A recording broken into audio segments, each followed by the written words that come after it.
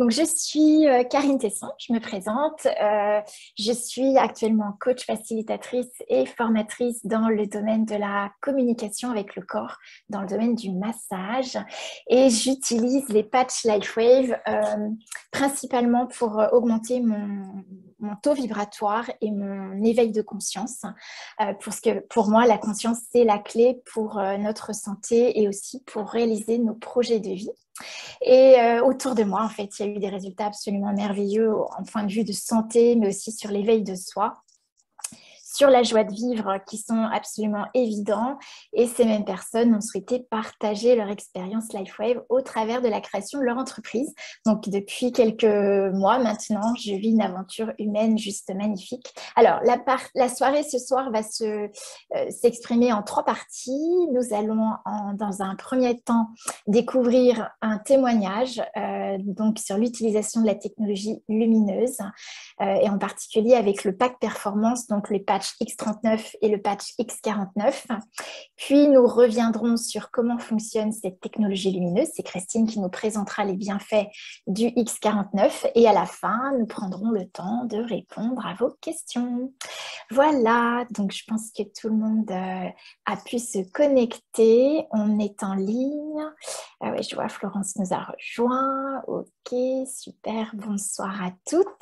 Bien, donc je vais donc commencer par accueillir notre invitée ce soir, Catherine Aflalo, donc, euh, qui va nous partager son expérience. Donc, je vais juste épingler l'image pour que Catherine puisse prendre la parole. Alors, voilà, j'ai l'épingle. C'est bon, on t'entend. Bonsoir Catherine. Bonsoir. Bienvenue et merci, merci surtout d'être présente et d'avoir accepté de partager ton expérience ce soir. C'est un grand cadeau que tu nous fais. Donc, euh, écoute, je te donne la parole euh, à toi. Moi qui vous remercie de cette invitation parce que vraiment là, j'ai rencontré euh, les patchs lumineux à un moment particulier de mon histoire. Pour vous dresser rapidement le tableau, j'ai une enfance mouvementée, une adolescence très intense. J'ai, je dirige une petite maison d'édition. J'ai une vie très voyageuse, très parisienne. Et j'étais partout dans le monde. J'ai essayé plein de choses. Et puis je suis arrivée euh, à peu près 50 ans, un, arrêtée net par un accident, une amputation j'ai passé un an à l'hôpital avec une succession de, de diagnostics, tous les plus, plus définitifs les uns que les autres. Vous marcherez plus jamais, ça ne se guérira jamais, ça n'ira pas. Enfin voilà. Euh, je suis sortie une première fois de l'hôpital. Donc ça, c'était il y a cinq ans. Je suis sortie de l'hôpital euh, très fatiguée, mais debout quand même, contrairement à ce qu'on avait dit, et euh, en reprenant ma vie de chef d'entreprise, etc pour me retrouver il y a exactement un an à nouveau à l'hôpital après avoir fait une péritonite qui a été mal soignée, qui a été soignée comme une déshydratation. Donc j'ai été à nouveau quelques semaines entre la vie et la mort avec le diagnostic vital engagé. Et puis euh, je me suis retrouvée avec un... Ah, excusez-moi, j'ai oublié d'éteindre cette affaire. Euh, et je me suis, je me suis retrouvée euh, dans la même situation que précédemment, aucune force, impossible de marcher, transporté avec un hamac entre un lit et un fauteuil roulant et avec un certain nombre de diagnostics atroces. Premièrement, j'avais un, un, escar sur le sacrum énorme, gros comme ça, niveau 4, et ils m'ont dit, il faut vous habituer à vivre blessé, ça guérira jamais. Euh, et ainsi de suite. Et donc, il se trouve que je suis, j'ai quitté l'hôpital après huit mois d'hospitalisation à la fin de l'année dernière. J'en pouvais plus d'être dans un système où j'avais l'impression d'être euh, incarcérée. Les, questions de vie ou de mort étaient réglées, mais je souffrais de beaucoup, beaucoup d'effets secondaires. C'est à cette occasion-là que je me suis retrouvée à Carnac, que j'ai rencontré Pascaline, qui euh, était toute lumineuse de ses pages, qu'elle a évoqué ce que ça pouvait être. Moi, je m'étais déjà intéressée avant à la notion de cellules souches et je me suis dit, ben voilà, sur un corps épuisé, une âme qui n'en peut plus, c'est sûr qu'il faut travailler sur la régénération. Et j'étais tellement remplie de médicaments, d'expériences et de, choses intrusives que euh, je n'ai pas laissé infuser très longtemps avant d'essayer. Et donc, j'ai commencé, et ça fait maintenant trois mois, euh, la cure X39, X49. Donc après, pour rentrer concrètement dans les différents soucis, il y a d'abord cet escar sacré qui était très très angoissant et que, que les médecins pensaient ne jamais voir guérir. Je suis partie de l'hôpital avec une blessure qui était beaucoup, beaucoup plus petite, mais qui était quand même encore ouverte. Aujourd'hui, il n'y a plus rien. Tout a guéri. Euh, je suis en train de travailler avec les kinés à assouplir la peau, à retrouver un peu de souplesse, mais il n'y a plus de fragilité et les médecins hallucinent complètement. Et la chirurgienne qui avait travaillé avec moi sur cette cicatrisation dirigée, elle commence même à me demander ce que j'ai fait pour que ça soit possible. Euh, en parallèle, pour quand même aider à la cicatrisation, on m'avait expliqué qu'il fallait aucun appui sur cet escar donc sur le dos, euh, le sacrum, donc j'étais toujours un peu en avant, un peu tordu, etc. Et notamment la nuit, comme j'avais des cicatrices devant à cause de la péritonite, derrière à cause de l'escar sacré, je me suis couchée sur le côté. J'ai fabriqué un système pour que je ne tombe pas d'un côté ou de l'autre pendant la nuit. Et il semblerait que ce faisant, pendant plusieurs mois, le nerf poplité a été gravement atteint et en fait ma jambe droite a arrêté de fonctionner. Donc ma jambe gauche était amputée et ma jambe droite n'obéissait plus. Donc évidemment, je n'étais pas en très bonne posture. Euh, et donc, ils ont fait des examens neurologiques avec à nouveau un prêt. Ça ne pourra jamais revenir. Euh, habituez-vous à vivre avec ça. Donc, j'avais un petit hamac qui permettait que mon pied, un releveur, pour que mon pied soit tenu, pour que je puisse quand même plus ou moins déambuler. Mais euh, voilà, c'était à nouveau définitif. Là, c'est pareil, j'ai travaillé avec les kinés. Les patchs ont certainement copieusement fait leur effet, puisque aujourd'hui, la mobilité de ma jambe droite et de mon pied droit est entièrement revenue les médecins n'y croient pas. Ils m'ont fait passer à nouveau un examen neurologique pour comprendre, parce qu'ils ont dit c'est impossible, ça n'est pas possible. Donc j'ai été euh, au cours d'une récente hospitalisation bien inspectée par les neurologues qui disent qu'il y a une certaine fragilité du système nerveux général, mais qu'en effet, euh, les informations passent à nouveau. Donc ça, c'était mon deuxième grand miracle. Mais pendant cette période, j'ai eu euh, un appui modifié dans ma prothèse et donc j'ai été blessée à gauche dans le moignon et là aussi, donc à une blessure, euh, il se trouve que par ailleurs, il y a eu différents soucis personnels qui ont fait que j'étais obligée de déménager en urgence mes bureaux, chose que je ne pouvais pas faire à cloche-pied, en fauteuil roulant. Donc, j'appuyais sur cette blessure qui s'agrandissait, qui devenait de plus en plus atroce, avec cette angoisse quoi, de dire, mon Dieu, euh, parce qu'il nous menace à ce moment-là d'amputer à nouveau plus haut, etc. Donc là, c'est pareil à un moment donné, avec l'aide de ce qu'ils appellent une botte de décharge, qui est quand même un, ustensile qu'ils ont fini par accepter de me faire, et les patchs. Aujourd'hui, il reste une toute petite pastille qui fait euh, même pas 5 mm dans tous les sens et 2 mm d'épaisseur. Et de temps en temps, quand je sens que ça stagne, en fait, je ne sais pas pourquoi, mais je colle le X39 et le X49 de chaque côté de ma cheville. Et j'ai l'impression que pendant la nuit, ça fait un petit miracle. Voilà, c'est un truc à part, une espèce de... Voilà. Euh, ça, c'était sur les choses euh, vraiment physiques. Il se trouve que dans toute cette situation, euh, ils m'ont trouvé dénutri et très anémié, donc ça faisait partie de, leur diagnostic de dire ça guérira jamais sans aucune force. Et ils m'ont donc nourri avec une sonde nasogastrique pendant plusieurs mois, ce qui a créé un escar dans le nez et une œsophagite. Je me suis retrouvée donc, une fois la, sonde enlevée, l'œsophagite entre guillemets guérie, avec un, un œsophage sténosé et incapable de manger autre chose que des bouillons, même pas vraiment des soupes ou des purées. Vraiment, au départ, c'était que des bouillons. Euh, et là, moi, ça a fini de contribuer à m'assommer complètement, parce que moi, j'étais une fille assez joyeuse avant, mais là, j'avais l'impression que à manger comme un bébé, je devenais quelque chose de très flasque, j'avais plus aucune envie de rien, euh, je devenais de plus en plus indifférente au réveil ou pas, enfin vraiment c'était très très étrange pour moi.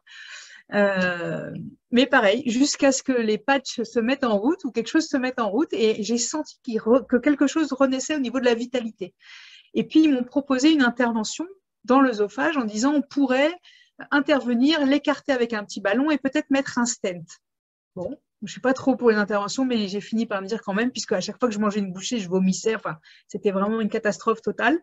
Euh, donc, je suis allée euh, faire cette intervention. J'ai expliqué beaucoup de choses euh, à la personne qui allait intervenir.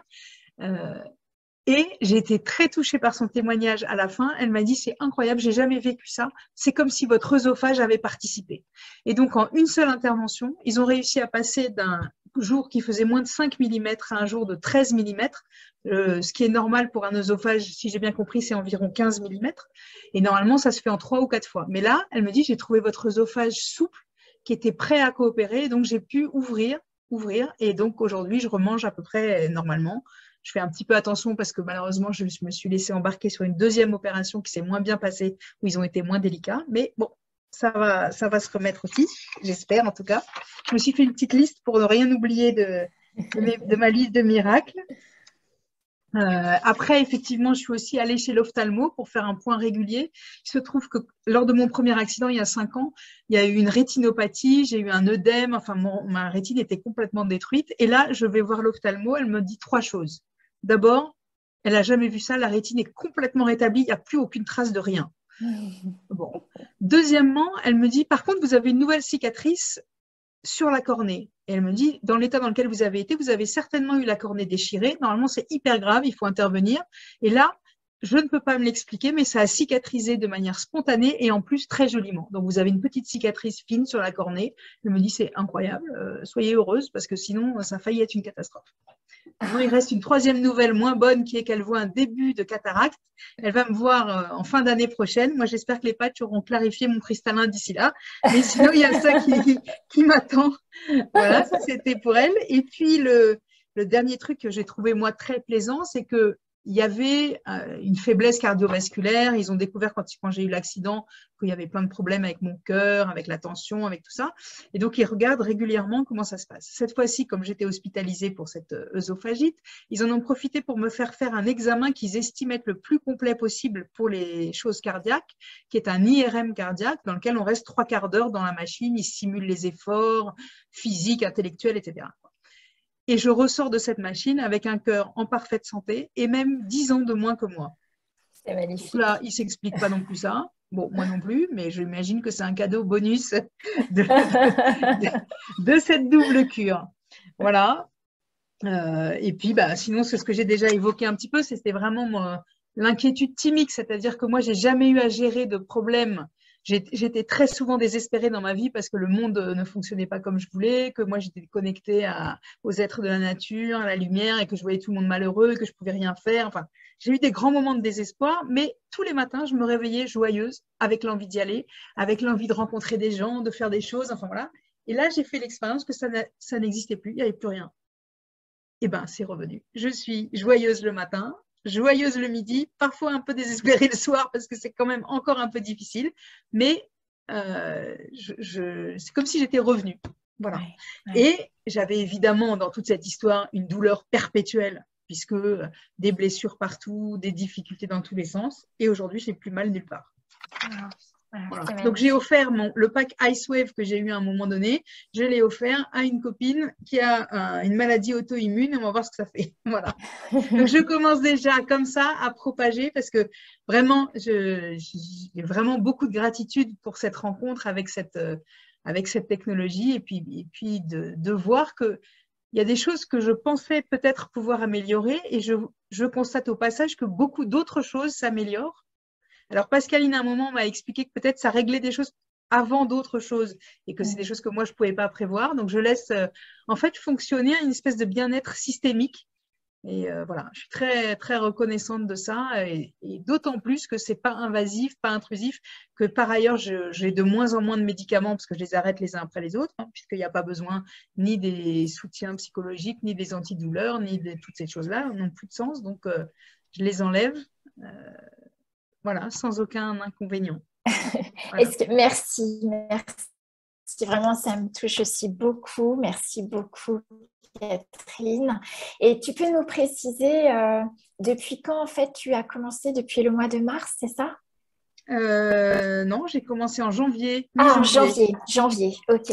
J'ai commencé, j'ai fait à peu près trois mois X39, X49. Et là, maintenant, sur la transition du printemps, sur suggestion de Pascaline, je commence une cure euh, YH et avec SP6 aussi. Mais euh, ce que je vous raconte là, pour l'instant, c'est juste X39, X49. X49, ok, super. Et tu les utilisais les deux en même temps ou Alors, j'ai utilisé les deux en même temps parce que j'ai bien aimé cette idée que ça se, ça se renforce.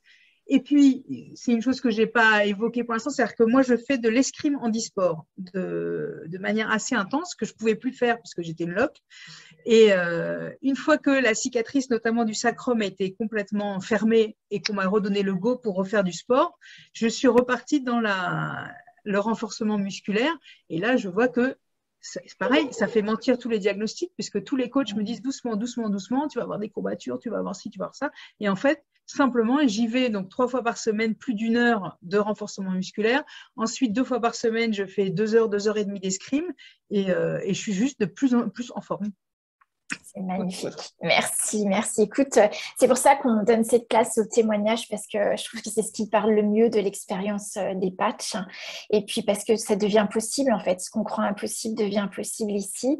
Moi, je, je, il y a des mots que tu as employés quand on a préparé euh, ton, intervention ce soir. C'est, euh, tu parlais de, des cellules souches. C'était pour toi le gisement de renouveau et de la régénération. Et je trouve ça magnifique, le gisement du renouveau, parce que c'est vrai que que ce soit sur le plan physique comme sur le plan de l'éveil, le plan du psychisme. C'est tellement magique de retrouver la présence à soi, de pouvoir de nouveau s'émerveiller et, de passer euh, de, moments joyeux et heureux parce qu'on voit que les choses avancent, évoluent. Et puis, comme euh, disait Pascaline, effectivement, c'est une technologie consciente, c'est-à-dire que l'énergie va là où le corps en a besoin et euh, donc commence à rétablir les tissus qui, qui sont la priorité pour que après tu puisses avoir d'autres effets sur tout ton équilibre en fait. Et moi, je suis vraiment aussi très reconnaissante parce que j'étais dans une impasse, parce que j'ai fait toute ma vie plein de choses pour que les choses soient possibles. Euh, mais là, j'étais tellement épuisée, il y avait tellement plus rien et j'étais tellement remplie de médicaments, de d'injonctions contradictoires. J'étais complètement emprisonnée. Je voyais même pas comment c'était possible de faire quoi que ce soit. J'étais vraiment euh, éteinte et ça m'a complètement réveillée. Et je trouvais que de se remettre dans la lumière comme ça, en fait, c'est ça qui se passe. C'est que la lumière revient alors, si en plus c'est la mienne qui se reflète, je trouve que c'est une super nouvelle. je ne sais pas si c'est exactement ça, mais, euh, mais le, le, le, cheminement, en fait, je le trouve, euh, et puis je, je, le trouve très, vraiment très digeste. C'est, c'est, j'ai l'impression de, ne, de trouver la grâce que moi j'ai vue chez Pascaline, c'est-à-dire quelque chose qui ne dérange pas, qui change tout, mais sans déranger. Je trouve ça génial. Ouais, merci, merci parce que c'est voilà, c'est tes mots, c'est vivant et j'ai rien à rajouter, c'est juste merveilleux tu puisses exprimer ça. Merci beaucoup. Et c'est vrai que c'est se remettre dans la lumière en fait, c'est réactiver tout notre potentiel lumineux. Hein. Donc, euh, merci beaucoup, Catherine. Tu restes avec nous. Je vais accueillir Christine euh, qui va justement euh, clarifier, mettre des mots sur comment fonctionnent ces technologies lumineuses. donc, je vais épingler, voilà ajouter l'épingle avec Christine. Et je pense que Christine, tu vas pouvoir... J'ai ouvert le micro, ça devrait fonctionner. Ça, fonctionne, on t'entend, c'est OK. Super. Oui, très bon, très bien. Ok, bah, merci Catherine. J'en ai encore la chair de poule à entendre tout ça. Euh, ça va être bien banal ce que je vais vous dire par la suite, là maintenant. Mais je vais aborder un peu l'aspect, on va dire, euh, ce que LifeWave euh, annonce comme bienfait, comme technologie, parce que évidemment, l'IFF ne fait aucune allégation médicale. Donc, nous sommes heureux d'avoir des témoignages ou même sur un plan physique, médical, beaucoup de choses ont changé, mais bien entendu, euh, ça ne reste que des témoignages euh, que nous pouvons partager autour de nous. Donc, un grand, grand, grand merci, Catherine, de, le faire, d'être là avec nous ce soir. Donc, je vais partager tout simplement quelques informations avec vous euh, pour les invités surtout euh, euh, qui ont entendu. Ah. Est-ce que mon diaporama il apparaît? Oui? Oui, oui, ton diapo apparaît. merci. Et Parfait. donc pour les invités, surtout ce soir, donc je vous donne quelques explications sur ce qui est cette fabuleuse technologie LifeWave. Donc, on stimule notre corps, nos cellules grâce à la lumière. Donc, nous parlons souvent de luminothérapie, photothérapie. C'est une forme avancée de luminothérapie puisque la grosse différence, la différence essentielle euh, que nous, avons dans notre technologie, c'est que la lumière n'est pas une lumière extérieure, artificielle, produite euh, par un appareil. Donc, nous travaillons uniquement avec la lumière du corps, la lumière infrarouge que nous pouvons tous ressentir. Euh, c'est la chaleur du corps que nous ressentons. Donc, nous l'appelons la lumière infrarouge. Donc, les patchs sont conçus pour capturer cette lumière infrarouge et de réfléchir certaines longueurs d'onde de lumière. Certaines longueurs d'onde, donc les X39, X49, Ce sont des activateurs de cellules souches. Donc, c'est le corps qui sait faire. Tu l'as bien expliqué, Catherine. Tu as l'impression qu'il y a des choses qui se réveillent en nous, qui étaient en, moi, qui étaient toujours là. Et c'est bien ça. Le patch fait cette stimulation très douce. Elle indique au corps de produire différents processus, mais qui sont déjà connus par le corps. D'où toute cette idée de dire, voilà, ce n'est pas invasif, c'est je me sens bien avec, il y a des bonnes choses qui se passent. Et nous pouvons vraiment, euh, en, toute confiance, proposer et euh, encourager les personnes d'utiliser, d'utiliser les patchs, même s'ils ont un traitement, même s'ils ont une problématique, un suivi médical. Voilà, après, vous voyez ça avec votre médecin, vous le tenez au courant que vous faites ça en plus. Et puis, on a bien entendu, les médecins aujourd'hui disent que c'est. Alors, le pas possible, souvent ils disent ça, mais en fait, c'est du jamais vu pour eux. Mais nous, on ne dit plus que ce n'est pas possible. On sait que c'est possible, mais ils n'ont jamais vu ça avant. Des cicatrisations aussi rapides et des choses comme ça. Donc, pour la composition du patch, c'est en fait une molécule d'eau oxygénée qui est utilisée comme un support euh, dans le patch et différents acides aminés, d'autres substances euh, organiques ont été utilisées pour créer des petits cristaux. Et ils sont combinés de façon à créer un prisme. Et chaque patch a donc un prisme différent parce qu'il va travailler sur une fréquence lumineuse différente. Donc, c'est ensuite quand le patch reçoit la chaleur du corps, cet infrarouge du corps, qui va se mettre en résonance avec cette information. Et qu'est-ce qu'il fait à ce moment-là? Il va réajuster des choses, amplifier des choses, relancer des informations, relancer des énergies dans le corps. Il, permet juste au corps de régénérer sur un plan vraiment, comme on dit, qu'on n'a pas vu auparavant. Si on, a, eu des problématiques et c'est vraiment assez révolutionnaire dans le sens où on est non seulement dans la réparation des choses, mais on est en complète régénération, voire inversion du processus euh, de, de vieillissement d'une cellule si la cellule a été déjà très abîmée, elle peut reprendre vie. Elle reprend une, euh, structure plus jeune, plus saine. Ça, c'est vraiment euh, cette force dans cette technologie douce euh, grâce à la lumière. Au niveau utilisation, voilà, on sait le X39, X49, c'est essentiellement sur la bosse du bison ou sous le nombril, trois doigts sous le nombril. Il y a d'autres points qu'on peut utiliser, ou comme Catherine le disait, elle avait envie à un moment donné, sur des douleurs de sa jambe, de le mettre dessus. Et c'est très bien aussi, ça c'est toujours le troisième point qu'on utilise, là où le corps nous parle, on a envie de, ou le besoin de le mettre. Alors je vous résume les bienfaits du X49 qui ont été euh, approuvés, euh, testés avec des études cliniques par LifeWave. Euh, donc c'est vraiment, c'est prouvé par plusieurs études cliniques et tests cliniques que quand on porte ce patch, euh, le patch X49, parce qu'on parle plus particulièrement ce soir du 49, il va rehausser un petit de cuivre qui se trouve dans les muscles, le cœur et le cerveau. Et il est très bien de l'associer avec le X39, évidemment, quand on a euh, beaucoup de problématiques, on va dire, à, à faire sur l'ensemble du corps. Mais le X49, en soi, il favorise vraiment la construction de la masse musculaire, réduit la masse grasse corporelle améliore la force et l'endurance, soutient la santé osseuse, aide à réparer le système cardiovasculaire, améliore et protège la santé du cœur, améliore les fonctions cérébrales et aide à baisser la tension artérielle. Ça, ce sont les principaux bienfaits que LifeWave annonce euh, avec études cliniques à l'appui. Une petite euh, comparaison avec euh, le X39, parce que tu l'as évoqué, Catherine, et on en a parlé il y a 15 jours du X39, qui est donc le patch activateur de cellules souches de base, parce qu'il couvre donc tout le corps. On voit la différence, l'un c'est le AHK, l'autre c'est le HK, mais euh, on sait que le peptide de X39 est dans toutes les cellules de tout le corps, alors que pour le, euh, pour le X49, on est plus sur ce que je disais, le cerveau, le cœur, la masse musculaire.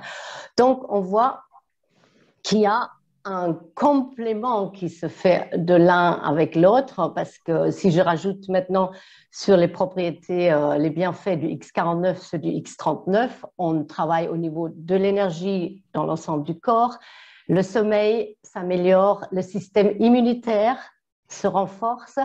On peut soulager les petits maux et douleurs avec l'X39. Il améliore aussi les fonctions cognitives déjà, pour euh, pas mal.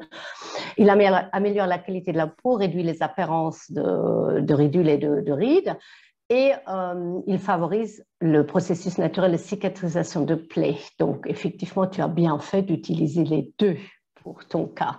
Mais sachez qu'on peut utiliser l'un et l'autre séparément, comme on peut faire cette combinaison euh, qui est extrêmement bénéfique, qui est du coup euh, plus plus, on va dire. Donc, il existe ce bundle de performance X39, X49 qui est euh, toujours, on va dire, un peu en promo sur un prix de, bundle pour aller sur l'ensemble du, corps, sur l'ensemble des cellules qui ont besoin d'un renouveau, d'un bol d'air frais.